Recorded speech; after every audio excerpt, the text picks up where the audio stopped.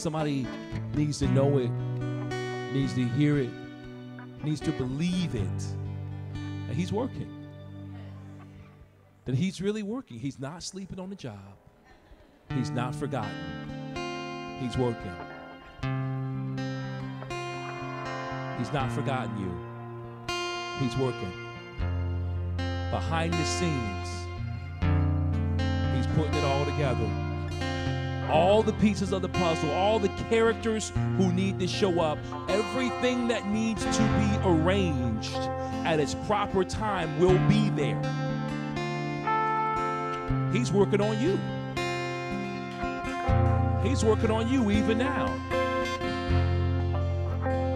He's working. Be encouraged that He's working. Let's go before the Lord in prayer now. Father, we thank you, Lord God. Because, God, your word says that he who guards us never sleeps. You're not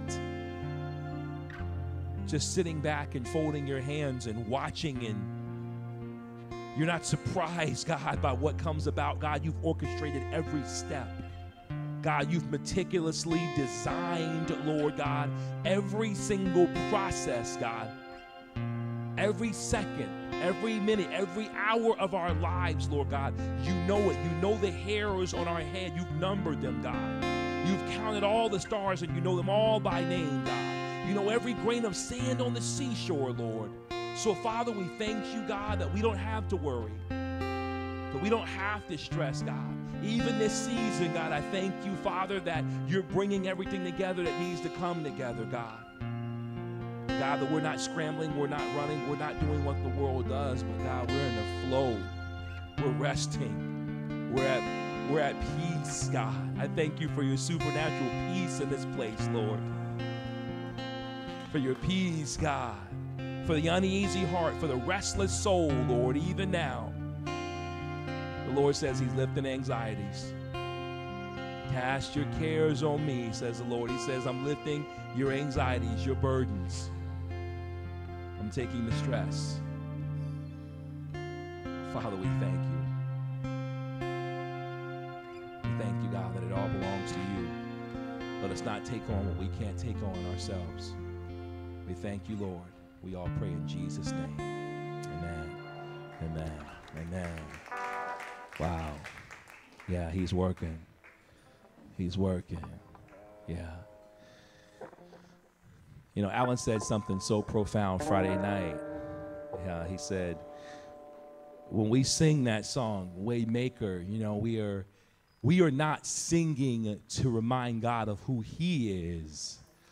We're singing because we're reminding ourselves of who God is. And I was like, wow, man, that was that was heavy, Alan. Every now and then you got some deep stuff, man. Every now and then, you know, we have we have some silly conversations, me and Alan, and you know, every now and then he drops a bomb on me. I'm like, whoa, I got to chew on that. That's good stuff.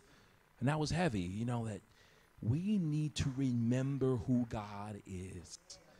Because from time to time we forget and we think that God is, is off somewhere. But he's never off. He's never missing a beat. He knows exactly what we need when we need it. So today my message is called Time and Space time and space. How many of you know time is valuable?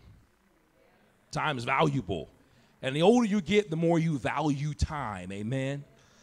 You know, I, I, get upset with people younger than me. I get upset with people even who are older than me who don't appreciate the value of time because it's so precious. You know, you spend time and you don't get it back. It's a rare commodity. Once you've you've spent it, it's gone. You can't earn more time. It's so precious. And, you know, uh, for many of you know, I teach fifth grade in addition to pastoring. And so with my students, I'm a, I'm a little harsh at times because I'm like, you just don't get it. You don't get it. Your future is at stake. It's your time. You know, parents, you know, you guys know uh, as you're raising preteens and teens, you know, my daughter's getting in those years now, and I'm like, baby girl, oh my goodness, time is essential. We don't have time to waste. Time is so precious. I don't want to waste a moment of time. I, I, I want get up in the morning. I try to be intentional about time. Because, man, I don't want to miss anything. I don't want to miss any opportunity. I don't want to let the sand in the hourglass slip and lose out on those precious moments. They're so precious. Time is valuable. How many of you know space is also valuable? They go hand in hand. I need my space. Sometimes I need more space. You know, I need I need 50 feet. Sometimes I need more. I need to get away. You know, I, I gotta go. I need my space. Sometimes I need space alone. Sometimes, you know, we need space to be with others. We need to share the same space as we do as we meet on the Lord's day. To share this time and this space with each other. They go hand in hand. They're both very valuable. And God understands the value of time and space. And as I was preparing, I, I said, Lord, why is it that Jesus came when he came? And, God, as many people ask, I often ponder, okay, Lord, why is it that he had to come when he came and he couldn't have come sooner? Because the world needed him. We've needed him ever since the beginning. Ever since sin came into the world, we needed a Savior. We needed redemption. We've always needed him. But the Lord just hit me with it, and I said, Oh, wow, God. He said, I respected the time, I've respected the space that was needed. You see, time after time after time, God has tried to create opportunities for intimacy.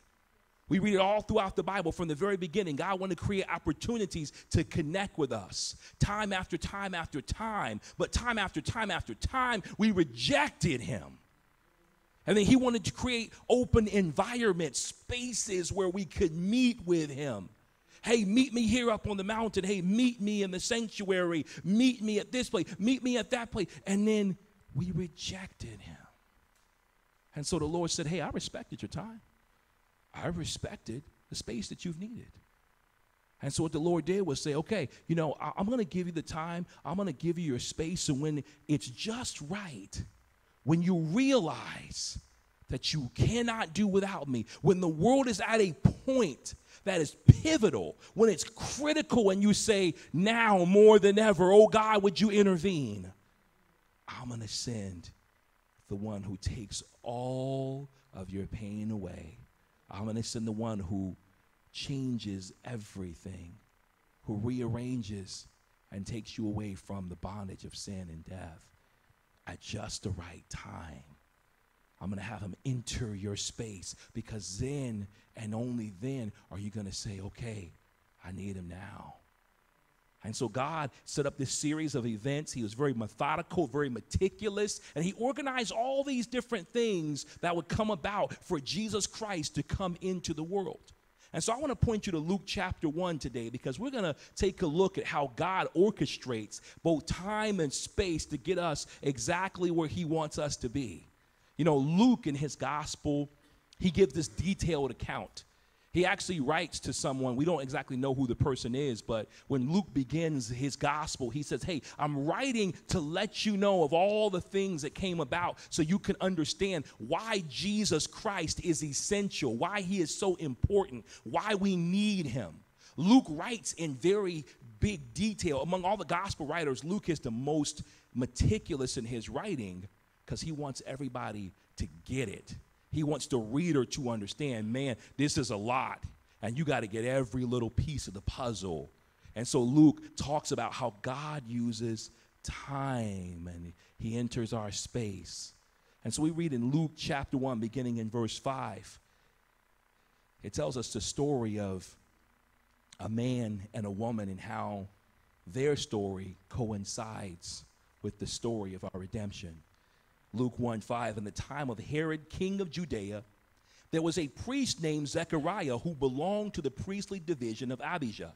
His wife, Elizabeth, was also a descendant of Aaron. Both of them were righteous in the sight of God, observing all the Lord's commands and decrees blamelessly. But they were childless because Elizabeth was not able to conceive, and they were both very old. And so, what these verses tell us is a classic example of how bad things can happen to good people. how many of us can be a victim of time. How time and chance happen to us all. No matter what, no matter how great you are, no matter how righteous, no matter how, how devout you are, how obedient you are, time and chance can happen to us all. And it says that Elizabeth and her husband Zechariah were righteous, not in the sight of people. Notice what it says not in the sight of people, of God. Amen. God was looking at them and saying, Hey, I find no fault with them. God wasn't cursing them, God was not putting anything upon them to be harsh to them or punish them. It's very careful to say that. God saw that they were righteous, but yet and still, he allows them to go through this circumstance, to go through this ordeal for years upon years upon years. And so, for both Zechariah and Elizabeth, it would seem that time was not on their side. It would seem that after all this time, God would not meet them, God would not answer them. And many of us can relate to this. How many times do we serve and pray and seek and study and we're, we're there, we're faithful, we're faithful to God, but it still seems like we do not get what we were seeking. It still might seem like, man, you still didn't get what you were asking God for, what you were fervent in prayer for, what you were desiring of God. God, I just want this one thing. All they wanted was a child. That's all they wanted. They weren't asking for great wealth. They weren't asking for anything beyond their scope. They were saying, God, we just want child. Would you bless us? And it seemed at this time as if God had forgotten them. And so they find themselves in a position where they're saying, God, will it ever be our time? God, is our time over? Is the time up? Because as a young couple, they would have been happy and ready. Okay, we're going to do this thing. We're going to start a family. No, it's not quite working out. Okay, we got some time. As an older couple, okay, we got some time. As a very old couple, then it becomes, well, the ship has sailed. It's over. Time's up. We just ran out. We can't do it. And then on top of that, people would look and people would, would say of them, What's wrong with you? You serve God, you love God. Why isn't it working for you? Why did God pass you over? If you were really as devout as you say you were, why is it that God did not bless you? And so now you're looking at, at the time that has been lost you're looking at the, the, the, the, opportunities that have been missed. You're looking at all the things that were not completed. And after you've spent enough time dealing with the pain of lack, you find yourself staying in that place, a victim of time, a prisoner in time, staying in a certain place where you can't get past that point. You say, Oh God, I don't know why you did this to me, but where I am is where I am. I, I, don't, know if I can move beyond this, God. I'll still pray, I'll still worship, I'll, I'll still seek you, God, but uh, if I'm being honest, th- this point in time took my stride. This right here stopped me. I, I was looking forward to this, and now, God, I guess you've taken it away. And slowly but surely, over time, our dysfunction is not just what we're struggling with, but like Elizabeth and Zechariah, it tends to become who we are. We wear it. And now they, they've taken on the title of the barren people. We're the barren couple. We're empty. We are devoid of any fruit. Even though God's done amazing things in our lives, you know, the crib is empty, so we're devoid. And there are so many of us who feel void of something because of what we do not have. We say, There's no house on the plot of land. I'm void. There's no car in the driveway. For some, there, there is no baby in the crib. I'm, I'm void, God. God, you miss me. God, I, I guess I, I'm not worthy. God, you've taken from me. And so we find ourselves in this place and we find ourselves saying, God, I, I guess my time is up. But that's our perspective. That's not God's perspective. He's not looking at us as though nothing will ever be finished, nothing will ever be complete. We're looking at what did not get completed, what we didn't get accomplished, what we couldn't make happen. We're looking at the perspective from the negative space. You know, if you've got a hundred percent of the picture, oftentimes we will dwell in the 20%. If you've ever heard of negative space, if you've studied photography or art, you know that negative space is basically if I took a picture of Doug, Doug is, is my positive space. The subject is your positive space, right? The immediate subject. The negative space is what's around the subject. The room would be the negative space. The chairs around him, other people in the picture might be the negative space. And if we're not careful, what we do is we focus on the negative space, what's going on around us, around us, and we take ourselves out of the picture. You see, I, am not even a factor in this. It's everything that's happening in my life around me. It's all the, the time and space that operate around me. I'm troubled by this, but God is saying, listen, you need to know that you're in the picture. I'm still working with you.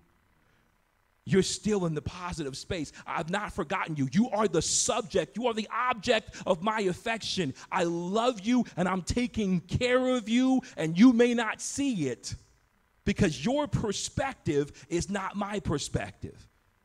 You're seeing it from a perspective where, God, I guess you didn't work, but He's saying, Oh, no, you don't understand. I'm working. I'm working. I'm making it happen. And maybe you think you've missed time. You say, Well, God, I'm, I'm, I'm pushing up on 40. You know, time time's passed me by. I put God, I'm pushing up on 50. I'm past 50. I'm, I'm 60s. I'm 70s. I'm, I'm hitting some buttons. I'm sorry, y'all. I'm stomping on some toes now. I'm hitting 60, 70. Hey, God, I don't know how much more time I got. So if you're going to make it work, you're going to have to make it work. But God's not intimidated by what you feel is a lack of time. Zechariah Elizabeth were very old, but God's not worried about that. And even though they find themselves in the negative space looking at their lack of time, God says, Let me show you something. I got you. I got you. And what you were perceiving as a lack, Oh no, I'm showing you that there's abundance. We read as in verse 8, Luke chapter 1, verse 8, it says, Once when Zechariah's division was on duty and he was serving as priest before God, he was chosen by Lot, according to the custom of the priesthood, to go into the temple of the Lord and burn incense. And so when it says he was chosen by Lot, that's by chance. It's kind of like a roll of the dice. Hey, you know what? Oh, it's your turn, Zechariah. But it wasn't chance. God doesn't have chance and coincidence. It wasn't by chance. He was where he was supposed to be at the right time in the right place. When he goes there, according to the custom of the priesthood, he goes to light incense. The incense represents intercession, praying for the people of God. He goes into the temple to light incense, and it says in verse 10 and when the time for burning the incense came, all the assembled worshipers were praying outside. So he goes into the temple. The people are outside. He's praying for everyone and lifting those prayers up to God. He's at the right place of prayer and seeking God. Little does he know that God's going to visit him according to his prayers. It says in verse 11 that an angel of the Lord appeared to him, standing at the right side of the altar of incense. Wow. The angel is right there in the place where prayers are being brought up. Where Zechariah had come many a time as a priest.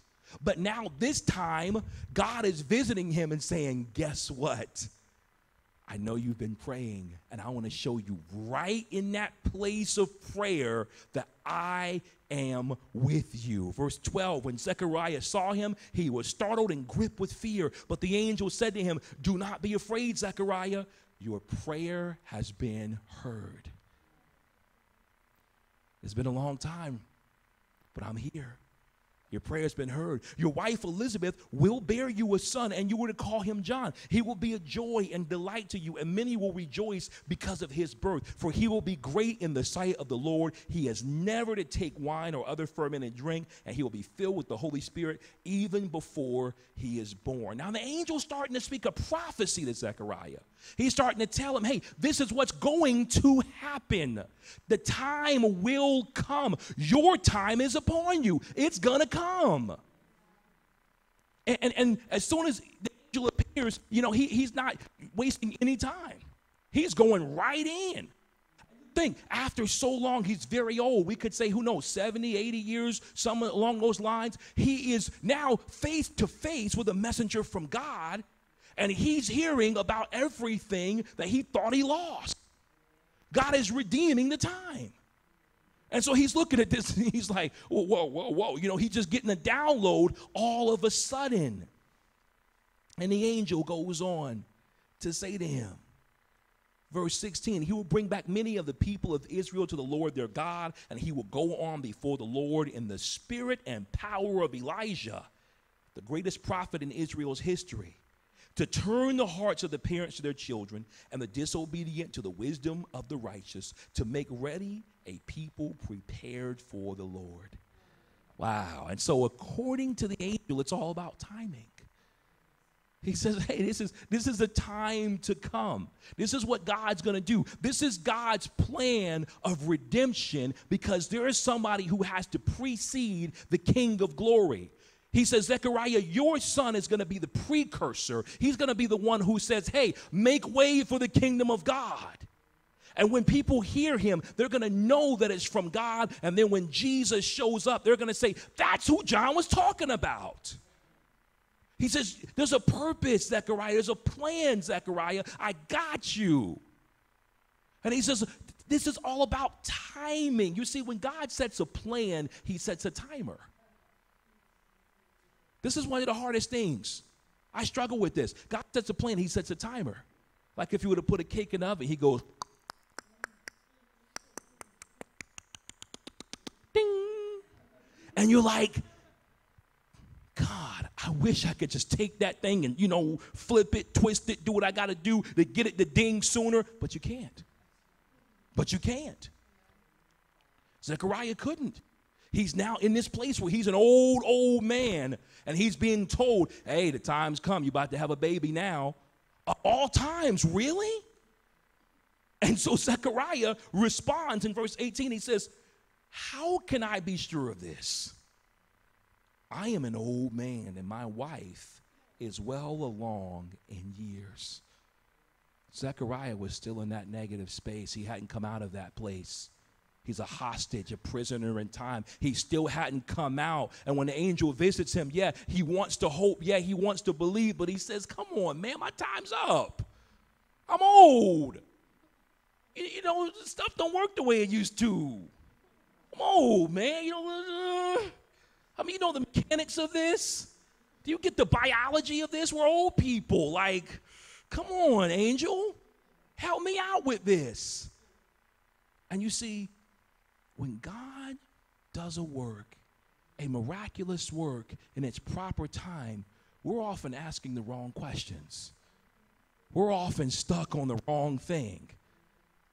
The angel didn't say, hey, you know, ask me how. The angel didn't say, hey, this is going to happen. Now you want to know why? You want to know how? He didn't say that. He said, it's going to happen. God's going to do it. God's going to deliver his people, and he's going to do it through your family and through your family's family. He's going to work this out, Zechariah. You're, it's not for you to know, it's for you to fulfill the plan. And that's what God wants us to know. Hey, it's not always for you to ask why and how and when. People come to me all the time. Well, you know, I just want to know what God's doing. I want to know how He's working. You don't need to know that. That's not for you to know because he's going to reveal it in time. Wow. And so the angel said to him, verse 19, the angel said to him, I am Gabriel. I stand in the presence of God, and I have been sent to speak to you and to tell you this good news. He, he, he's incensed at this point. Gabriel reveals his name. We don't always see the names of angels in the scripture, but Gabriel reveals his name because now he's taking a stand. And he's saying, Do you know who I am? Do you really know who I am? You're going to tell me, you're going to ask me how it's going to work. I'm Gabriel. If I say it's going to work, it's going to work because God told me. And I was right before his throne and he said it was going to work. Who, who, who are you? I'm, I'm Gabriel. The name Gabriel literally means man of God. The man of God appeared. You know, in the Old Testament, they would see an angel, and often they would say, Oh, a man of God appeared to me yesterday. They didn't know, they couldn't understand who, who they were, how they operated. All they knew was that they looked like men of God. They came from God. There was something about them. And so he's like, Hey, I'm the man of God giving you the word from God. You need to follow God. Don't worry about it.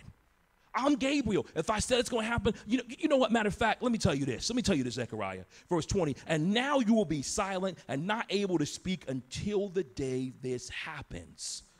Because you did not believe my words. You didn't listen to the man of God, which will come true at their appointed time. He says, Zechariah, there's a plan and a purpose. It's going to happen, it's going to be fulfilled. And Zechariah, now you need to shut up because you found yourself in that space where you've been speaking against it, where you said, I don't know how it's going to happen. Can it really happen? And the angel was like, Look, don't even say nothing. Because the second you start opening your mouth and you get around other people, you're going to curse it. You're going to curse it, Zechariah. So, so do me a favor. I'm going to close your mouth, keep you silent, because I need the plan to be fulfilled. And see, this is for us the right word at the right time is powerful. When we speak the right word at the right time, it's powerful. We speak the wrong word. Even in the right time, we speak the wrong word. We can curse the will of God for our lives. God's wanting to do a work, but we can speak against it and curse it. And so he says, Don't say nothing no more. I'm going to shut you up. I'm going to keep you silent. And Zechariah was troubled because he had been occupying this space for so long. He didn't realize that God didn't forget his prayers. And he thought it was too late. But someone needs to know today that it's never too late. It's never too late. And even if you think it's too late, even if you're saying to yourself, man, it's too late, that's not what God says of you. It's not too late. And no matter how long you've been waiting, God has been setting up an appointment for you. He set the appointment. The time is ready. The angel said, Hey, the time's gonna come. The time is ready for you, but he's getting you ready for the time. He's getting you ready for the time. We don't know why, but apparently Elizabeth and Zechariah couldn't have a baby at 20, 30, 40, what have you, because they weren't ready in that time. They couldn't handle in that time. There are things that we can't handle at a certain time that God says, I've got to get you ready for this event. I've got to prepare you. Because perhaps it was that they were so righteous, and perhaps that when we're righteous and we're following God and we're serving God, we think that things happen according to our righteousness. But we need to understand that God doesn't fulfill things just because we're so great, but God brings things to pass because He wants to show His greatness within us. He wants to show that he's working. And the only way that he could do this in their lives was he had to make sure that it was at a time where it was absolutely impossible. Because with God, all things are possible. He had to make sure people knew hey, this is going to work, this is going to happen, because God will make it happen. We read in verse 21 Meanwhile, the people were waiting for Zechariah and wondering why he stayed so long in the temple. When he came out, he could not speak to them. They realized he had seen a vision in the temple, for he kept making signs to them, but remained unable to speak. He's he's trying to tell them, and they're like, "Okay, I think we angel something. We don't we don't know." But he was trying to reveal something to them, but he could not speak because if he spoke to everybody, imagine what they say. Zechariah, what are you talking about, man? Bro, you've been in that room with that incense way too long. That stuff is, whew. I don't know what's up with you. Ain't you had no baby? Bro, you too old for that stuff, man. You better chill. Can't do that. So he couldn't speak. God ordained it. He could not speak. But he didn't need to speak to fulfill the plan of God. Man, we ain't got to talk to make happen, do we? See, some of y'all ain't gonna get me. Let me read this next verse. Let me let me get you here. Let me get you there. Let me get you there. All right? ladies, please forgive me. This is this is this is man talk right here and there, right, Dave? Help me out, Dave. Help me out. Don't leave me hanging, bro. Verse 23. When his time of service was completed, he returned home. You got to catch it. 24. After his wife Elizabeth became pregnant and for five months remained in seclusion. You get that? I'm reading one more time. When his time of service was completed, he returned home. After this, his wife Elizabeth became pregnant and for five months remained in seclusion. He didn't have to talk, he didn't have to say a word. Guys, we ain't got to say a word. Oh man, see, y'all ain't even with me today, man. Y'all ain't even with me today. My man was old. He had to say nothing. He just had to get down to business. He just had to make it happen. He got home. He said he had to say nothing. You know, it's funny how men work, isn't it? How us guys work. We gonna do what we gotta do. We gotta we gotta talk about it. Ladies gotta talk about it. We ain't got I ain't got to say nothing to you. It's amazing how, how this transpires. And so, since he didn't have nothing to say, he didn't tell her nothing, he made it happen either way. And they conceive. Two people who were looking for burial plans conceived a new life. It's incredible. And it says that it transitions our story now from Zechariah to Elizabeth. It says that Elizabeth becomes pregnant and she's secluded for five months she finds herself alone because, for one, she has no voice of her husband to comfort her. The woman is alone. She can't talk to anybody in the streets, can't go out in the town, share the good news with them. They're going to speak. Are you crazy? What are you thinking? Y'all need to learn how to play checkers. Can't be having no babies. People are going to say something about her. She shows them the bump. They're like, this is insane. I don't even want to know what's going to happen to you. She's stretching in ways that she, people don't stretch at her age. She's finding herself in a position where now she's feeling pains. You know, young women do that stuff. Old ladies don't do that stuff. And so she's finding herself in a whole new area where only God can meet her, only God can comfort her, only God can be there to care for her. She can't have the consolation of anyone else. And you see, this is what God wants us to see that there are times where He gets us alone. There are silent times. There's times where He says, I'm working even in the midst of the silence. There's even a silence in the Bible 400 years of silence from Malachi to Matthew. God says, I'm working in the silent times. You can trust that I'm working when it's just you and me alone. Now I'm working in the silent time because that's when you're going to lean in to listen to me. That's when you're going to say, okay, God, you got to tell me what's going on. She remained in seclusion for five months. And all she could do in that time was seek God and praise God. Couldn't lean on anybody else.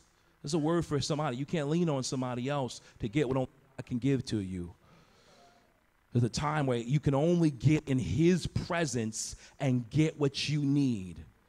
For many of us, we're running to people time after time after time. We're trying to be around people for comfort, and God is saying, Oh, no, I, I'm going to draw you into myself. You need that alone time with your Father. Because what you're going through, nobody else can comfort you in. Nobody else understands. There's not a soul on earth that you can communicate with that they will understand the gravity of what you're dealing with.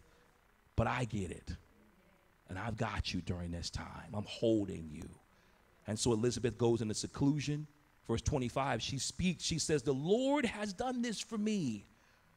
God has given me the answer to my prayers, even in this season. In these days, He has shown His favor and taken away my disgrace among the people. She says, as a woman, I was so disgraced. People talk bad about me. They dogged me out. They said I wasn't, I wasn't doing something right. And now look, God has removed all of that. And now He's shown that He will meet me in the fullness of time. She goes into that space, and it's just her, and, and, and nobody else knows what she's going through, or so she thinks, but there's somebody who does. She's got a miracle baby in the belly, and who in the world would know about that? Who in the world can testify to that? There's somebody in her family who knows, and this is where the story ties in. Elizabeth's cousin, Mary, comes over and says, I got to go see her. And when she goes to see her, Elizabeth, with this miracle baby in her belly, filled with the Holy Spirit, jumps up. oh, wow. Praise the Lord. She sees her cousin and she knows her cousin is with child, and the two of them rejoice together because she's carrying John the Baptist and Mary is carrying the Lord Jesus. The two of them connect and they come to understand each other's time, each other's season, what they're going through, and there's comfort. And then this God reveals to us that it's not just about us. That you may think that, man, this is it. This is it, God.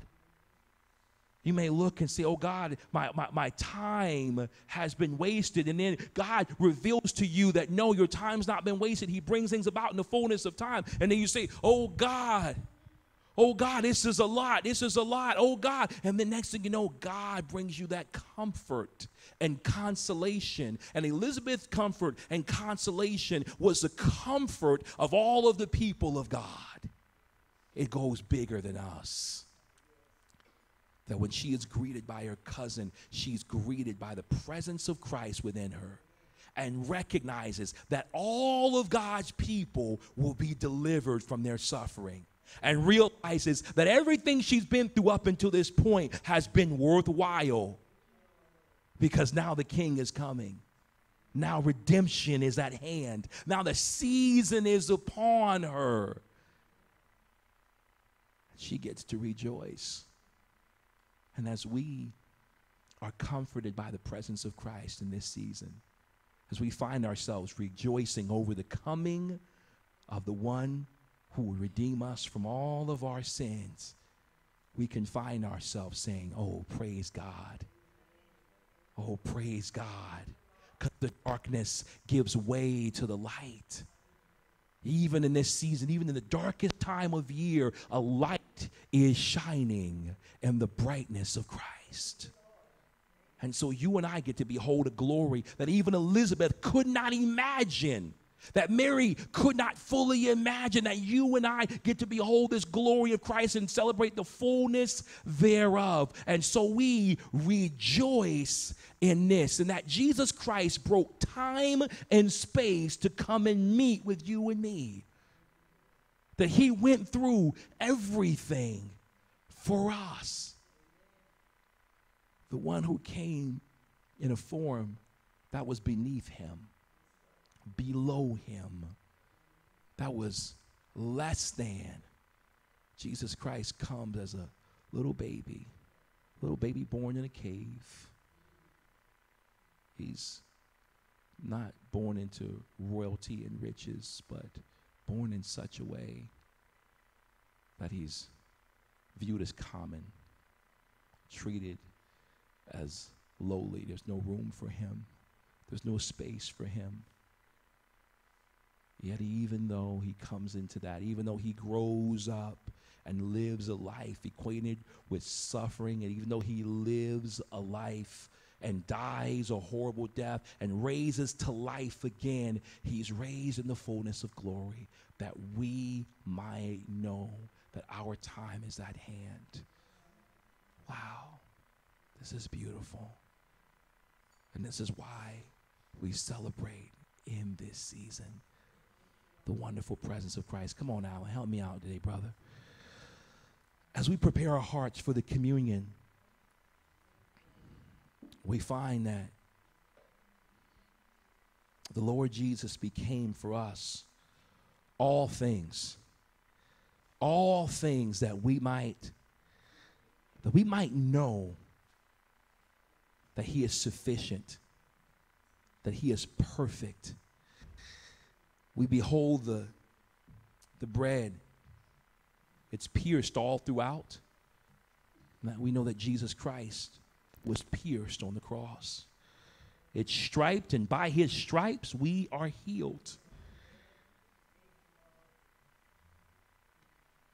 It's delicate, can be broken easily because his broken body is what makes us whole. Jesus Christ became for us the bread of life. And so, as we partake of the communion, we recognize that he came in the fullness of time. And when Jesus came in that fullness of time, he revealed to us that his body and his blood will be all that we need. Jesus sat with his disciples, he would have broken the bread, blessed it, said the traditional prayer, Baruch atah Adonai Eloheinu melech haolam chamotzi l'chaim b'Yeshua. Blessed are you, Lord our God, King of the universe, who gives us the bread of life in Christ. Us pass the bread at this time.